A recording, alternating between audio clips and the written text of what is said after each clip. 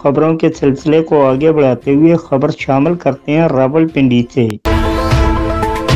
पाकिस्तान मुस्लिम league Qayyum के मरकजी सदर ओवरसीज और हल्का N A fifty seven Rawalpindi के उम्मीदवार बरए कौमी असम्बली।